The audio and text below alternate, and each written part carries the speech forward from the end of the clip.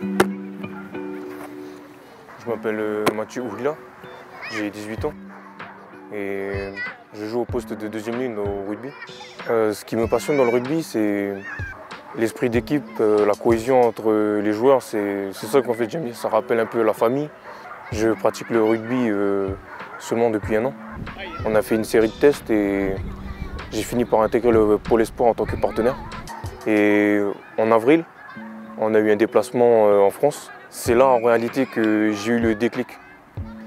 Et c'est cette claque qui m'a donné envie de continuer et je me suis dit que moi aussi j'atteindrais ce niveau-là. Oui, c'est une grande fierté. C'est vraiment une grande fierté pour moi de, voir Mathieu partir. Et voilà, aujourd'hui, on est, je l'ai récupéré pour l'espoir et euh, aujourd'hui, il, il s'en va sur une formation euh, de prof de PS, tout en, alliant en tout cas une, carrière de, de rugbyman professionnel.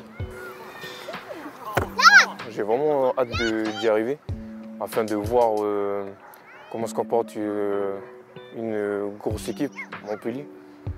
Et d'un autre côté, ça, me fait vraiment mal de quitter ma famille parce que ben, on est des Iliens et c'est vraiment fort euh, la tâche qu'on a avec la famille. Hey, Samsuri Je suis très fier de mon fils. Il m'a donné que du bonheur.